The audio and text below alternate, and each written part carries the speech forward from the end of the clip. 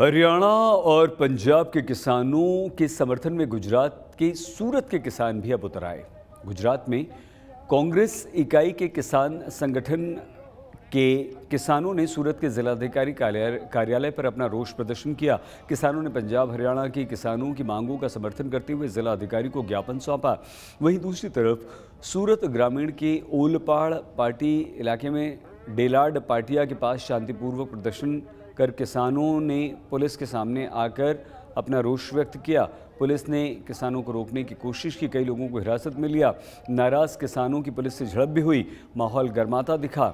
हम आपको बता दें कि देश भर के किसान संगठन, एमएसपी के मुद्दे पर एकजुट हैं और अपनी मांगों को लेकर केंद्र सरकार की नीतियों के विरुद्ध आंदोलन कर रहे हैं।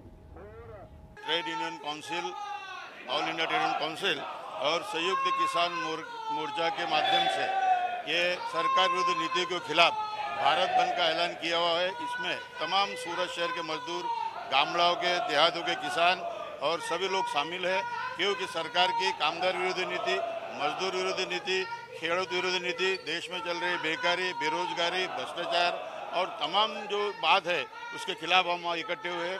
मोदी जी एमएसपी की गारंटी लेते नहीं है। मोदी जी मजदूरों की कायदा कानून की गारंटी लेते नहीं है। मोदी जी महँगाई को हटाने की गारंटी लेते नहीं है। मोदी जी बेरोजगारी को खत्म करने की गारंटी लेते नहीं है। मजदूरी किसानों का जो कर्ज माफ़ी है, उसके खत्म करने की गारंटी लेते नहीं है। मोदी जी कोई किसान आत्महत्या नहीं करे, कोई मजदूर आत्महत्या नहीं करे, इसकी गारंटी लेते नहीं है। गारंटी फकत मूढ़ेवादी के, मनोवादी के और जो सरकार के चापलूसी करने वाले लोग हैं, उन्हीं की गारंटी मोदी सरकार ले रही है, इसलिए उसके खिलाफ आज जनता रोड पर आई है, भारत बंद में पूरा देश सम्मिलित है और हमारी मांगनी है। और हम हम तो दिल से कहते हैं कि मोदी सरकार झूठी है, देश की जनता भूखी है, इसलिए 80 करोड़ लोगों को मोदी जी राशन देके खुश करना चाहते हैं। प्रधानमंत्री नरेंद्र मोदी की डिग्री से जुड़े मानहानि के मामले में दिल्ली के मुख्यमंत्री अरविंद केजरीवाल को करारा झटका लगा। गुजरात हाईकोर्ट ने निचली अदालत से जारी समन को गैर कानूनी बताने वाली अरविंद केजरीवाल और संजय सिंह की याचिका को खारिज कर दिया। हाईकोर्ट ने साफ़ कर दिया है कि अहमदाबाद की अदालत के बुलावे पर अरविंद केजरीवाल और संजय सिंह को पेश होना ही होगा। केजरीवाल और संजय सिंह पर प्रधानमंत्री नरेंद्र मोदी की डिग्री को लेकर गुजरात यूनिवर्सिटी ने मानहानि का केस दर्ज कराया है। केजरीवाल और संजय सिंह अब सुप्रीम कोर्ट का रुख कर सकते हैं। दिल्ली के मुख्यमंत्री अरविंद केजरीवाल और सांसद संजय सिंह को फिर एक बार झटका लगा है। गुजरात हाईकोर्ट से जो है उनकी जो अर्जी थी, याचिका थी, वो वापस खारिज कर दी गई है। हमारे साथ उनके वकील हैं उनसे बात करते हैं कि क्या मसला था और क्यों ये जो याचिका थी वो खारिज की गई। कोटवाल जी जो केस था, डिफेमेशन केस, उसके अंदर कॉशिंग के लिए आपने हाईकोर्ट में याचिका की थी। क्या जजमेंट आया और क्यों इसको खारिज कर दिया गया? क्या कोर्ट का कहना था? कोर्ट ने आज सीरियल नंबर वन के ऊपर जजमेंट प्रोनाउंसमेंट के लिए मैटर रखी थी। और दोनों ही मैटर रखी थी। माननीय श्री चीफ मिनिस्टर अरविंद केजरीवाल और माननीय सांसद सभ्य श्री संजय सिंह जी की। ये डिफेमेशन केस को क्वाश करवाने के लिए मैटर की गई थी हाई कोर्ट के अंदर। सुप्रीम कोर्ट ने ये मैटर के अंदर चार वीक का स्टे दिया था ट्रायल कोर्ट को प्रोसीड करने पे। अब हाई कोर्ट को ये इंटरीम स्टेज पे सुननी थी। हाई कोर्ट ने ये फाइनली सुन ली और दोनों की मैटर्स डिसमिस कर दी है। डिसमिस करते वक्त ओपन कोर्ट में ये कहा गया कि reasons assign to are tentative in nature and all grounds can be raised before the court below उसका मतलब ये होता है कि ये मैटर जो है, ये मैटर पे जो ग्राउंड्स है वो टेंटेटिव है, इसलिए आप पूरे के पूरे जो ग्राउंड्स है वो ट्रायल के वक्त ले सकते हैं। ये ट्रायल पे आप मैटर पूरी चला सकते हैं। मतलब कि ट्रायल पे ये मैटर चलेगा तो आप लोगों ने क्वाशिंग के लिए क्यों किया था? क्या वजह थी कि आपको लग रहा है कि ये केस गलत है? आ, ये बेसिकली केस अगर कहा जाए तो माननीय सांसद सभ्य श्री संजय सिंह में एक एडिशनल आर्ग्यूमेंट थी कि ये कभी भी उन्होंने अपने ट्विटर पे खुद शेयर किया ही नहीं है। तो ये जो एविडेंस प्रोड्यूस किया गया था प्रोसेस इश्यू करते वक्त या समनिंग ऑर्डर को प्रोनाउंस करते वक्त, ये इन इट्स सेल्फ डिफेक्टिव है, क्योंकि जब उन्होंने खुद ट्वीट ही नहीं किया तो उन पर ये नहीं हो सकती। दूसरी जो आर्ग्यूमेंट है दोनों के कोनोटेशन में, वो ये है कि ये डिफेमेशन हम कहीं से भी, अगर पूरा स्टेटमेंट कंटेक्चुअली देखा जाए, वो पार्ट्स पार्ट्स में रखा गया है कोर्ट के सामने, और शायद कोर्ट को थोड़ा सा मिसलीडिंग लगा होगा उस, उससे। तो इट अपियर्स दैट कंटेक्चुअली अगर देखें तो इसमें गुजरात यूनिवर्सिटी का पर से डिफेमेशन नहीं है। उसमें एक व्यक्ति विशेष का डिफेमेशन है, जो व्यक्ति विशेष ने प्रधानमंत्री श्री नरेंद्र मोदी की डिग्री प्रेस कॉन्फ्रेंस में पब्लिक की थी। तो आपके जो हुआ तो सामने काउंटर क्या किया गया और उसके ऊपर कोर्ट का कुछ कहना है या कोर्ट ने उसके ऊपर कोई ऑर्डर दिया है कि नहीं? कोर्ट ने हमारी आर्ग्यूमेंट्स रद्द किए मतलब स्वाभाविकता से कोर्ट ने कहा है कि ये आर्ग्यूमेंट्स आप लोअर कोर्ट के सामने ले सकते हैं मतलब ट्रायल कोर्ट के सामने आप ले सकते हैं। मतलब हमारे कंटेंशंस अभी भी वैलिड रहेंगे नीचे लेने के लिए। बट कोर्ट ने कहा है एट एट दिस स्टेज नहीं लेंगे। लेकिन मैंने ये पूरा जजमेंट अभी तक अपलोड नहीं हुआ है, ना पूरा जजमेंट प्रोनाउंस किया गया कोर्ट में। तो पूरा जजमेंट पढ़ने के बाद ही पता चलेगा कि इसके अंदर रिकोर्स क्या लिया जाएगा। अब क्या विकल्प हैं अरविंद केजरीवाल संजय सिंह के सामने? क्या निचली कोर्ट में सुनवाई ट्रायल चलेगा या फिर आप सुप्रीम कोर्ट में जाएँगे? देखिए, अगर पहले तो हम जजमेंट को पढ़ेंगे, उसकी समीक्षा करेंगे, हमारी लीगल टीम देखेगी कि इससे करना क्या है इससे सुप्रीम कोर्ट ले जा सकते हैं या ट्रायल कोर्ट में प्रोसीड भी कर सकते हैं। थे अरविंद केजरीवाल संजय सिंह के वकील ओम कोटवा जिन्होंने साफ़ तौर पे कहा कि जो हाईकोर्ट ने याचिका जो है खारिज कर दी पर उनके पास जो लीगल ऑप्शंस हैं वो अब चेक किए जाएँगे। क्या वजह रही कि ये याचिका खारिज हुई और आगे इस तरह से किसको लड़ा जाए, इसके ऊपर विचार किया जाएगा। अहमदाबाद से कैमरा ब्रिटिश रावल के साथ ब्रिजेश दोषी आज तक। गुजरात की भरूच लोकसभा सीट पर इंडिया अलायंस का झगड़ा थम नहीं रहा। इस सीट पर कांग्रेस और आम आदमी पार्टी ने अपना अपना दावा पेश कर दिया है। जहाँ आम आदमी पार्टी ने आदिवासी नेता और विधायक चैतर वासावा का नाम आगे किया वहीं दिवंगत कांग्रेस के नेता अहमद पटेल का परिवार भी अपनी दावेदारी यहाँ पर पेश कर रहा है। अहमद पटेल की बेटी मुमताज़ पटेल और उनके बेटे फैजल पटेल भरूच को अपनी कर्मभूमि बताते हैं और इस पूरे मामले पर हमारी संवाददाता ने मुमताज़ पटेल से बातचीत की। मुमताज़ पटेल है वो दिल्ली में रहती है वो भरूच में नहीं पकड़ नहीं उनकी क्या कहोगे देखिए भरूच की पैदाइशी है। भरूच में घर है, गाँव है, परिवार है, रिश्तेदार है। यहाँ पे अगर नहीं भी रहते हैं, क्योंकि मेरे पिता सांसद बन के काफ़ी वर्षों पहले दिल्ली चले गए थे तो हमारी पढ़ाई वहीं हुई थी और मेरा मेन परिवार वहाँ पे है। पर ये कहना कि भरूच में कोई पकड़ नहीं है तो आप ये कैसे कह सकते हैं? अहमद पटेल यहाँ से सांसद 45 वर्ष रह चुके हैं, तीन टर्म लोकसभा छः टर्म राज्यसभा। तो हमारा घर हमारा यहाँ पे फाउंडेशंस हमारा परिवार सब यहीं पर है। लेकिन 40 सालों से कांग्रेस यहाँ पे जीती नहीं है मुमताज़ पटेल की ये बैठक नहीं है और इमोशन चैतर वसावा के साथ है। आज भी चालीस साल से नहीं चालीस साल से अगर कांग्रेस लोकसभा नहीं जीती है तो भी पंद्रह वर्ष लोकसभा के सांसद और तीस वर्ष राज्यसभा के सांसद कांग्रेस को रिप्रेजेंट करते हुए अहमद पटेल यहाँ पे उन 2020 तक मौजूद थे और रही बात मेरी तो मैं उनकी बेटी हूँ। आप किस तरीके से कह सकते हैं कि ये इमोशंस नहीं हैं। आज इस सीट पे इतनी चर्चा और डेलिब्रेशन इसीलिए चल रही है क्योंकि अहमद पटेल की कांग्रेस की सीट है ये। अगर भरूच का नाम जाना जाता है हिंदुस्तान में तो अहमद पटेल के नाम से जाना जाता है।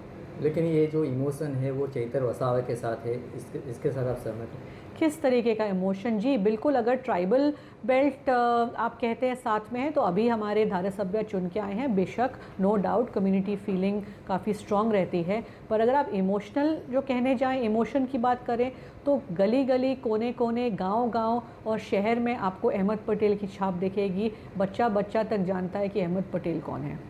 उनका ये भी कहना है कि चैतर वसावा ही हमारे उम्मीदवार रहेंगे और इंडिया गठबंधन है वो मान जाएँगे।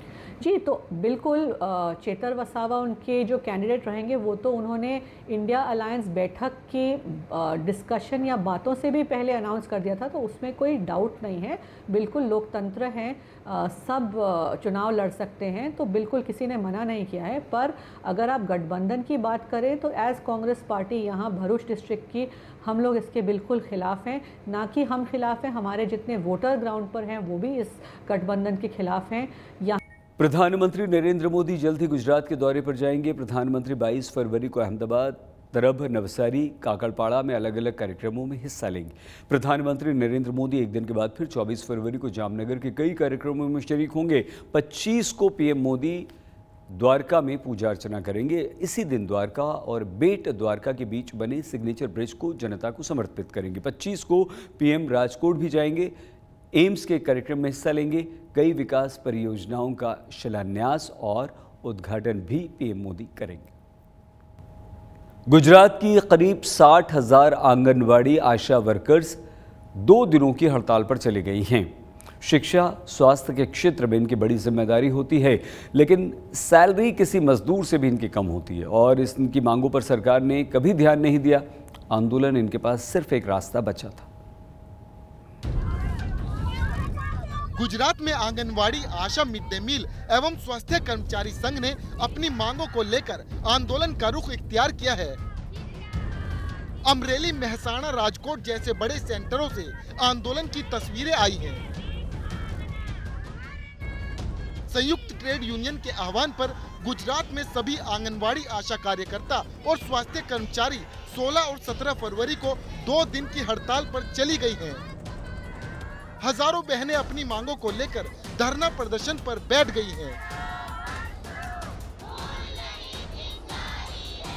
राजकोट में आंगनवाड़ी आशा वर्करों ने महासम्मेलन बुलाया है सिर्फ़ राजकोट में करीब 5000 आंगनवाड़ी आशा वर्कर हड़ताल पर हैं।